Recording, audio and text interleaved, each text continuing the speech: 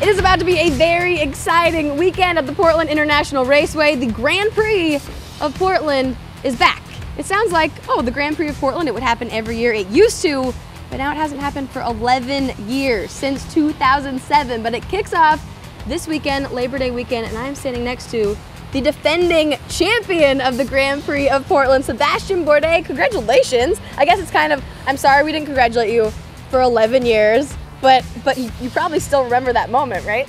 Yeah, it was uh, it was a great race. Uh, I think if I remember right, it was the hundredth win of the team as well at the time, so it was uh, it was a pretty big deal. So yeah, you are the defending champion. Does that give you like more pressure? How do you feel going to this weekend? Uh, you know, just uh, we, have had some good successes on, on road courses, so feeling pretty good about it. Uh, we, we got a, a, new sponsor this weekend uh, with Gorilla Automotive Products, so you know, I think uh, that number 18 is going to be pretty sporty, hopefully.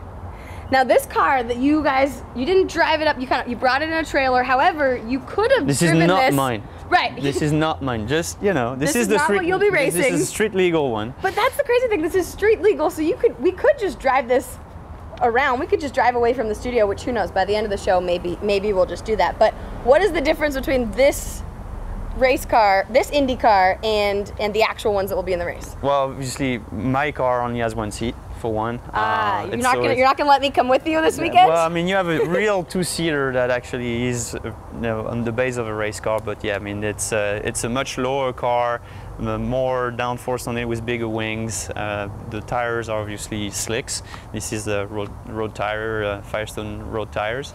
Uh, and uh, yeah, just uh, just a, few subtle differences, but uh, that make a pretty big difference because uh, the the Honda power plant at the back of our car makes 700 horsepower, and, and this does not. 700 horsepower. So how how fast do you think you're going to go around that track this weekend? Uh, probably close to 180, 185. That's it.